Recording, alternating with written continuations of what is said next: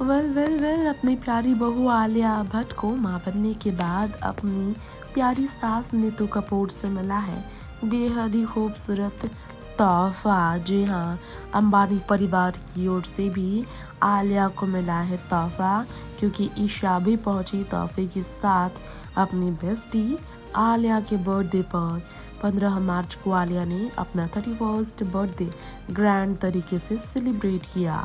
पूरे कपूर फैमिली ने आलिया के बर्थडे को स्पेशल बनाया लेकिन अंबानी परिवार से मुकेश की बेटी ईशा ने इस बर्थडे बर्थडे को और भी ग्रेट बना दिया। बताया जा रहा है इस मौके पर आलिया के लिए तोहफे के साथ सभी सेलिब्रिटीज पहुँचे। शाहीन, सोनी राजदान, रणबीर कपूर भी आलिया के बर्थडे के लिए पोज देते नज़र आए और नितु को गिफ्ट के साथ देख लोग काफ़ी खुश हुए। जी हाँ आपको बता दें, इस मौके पर गिफ्ट के साथ अंबानी परिवार से आकाश अंबानी और ईशा को भी स्पॉट किया गया था।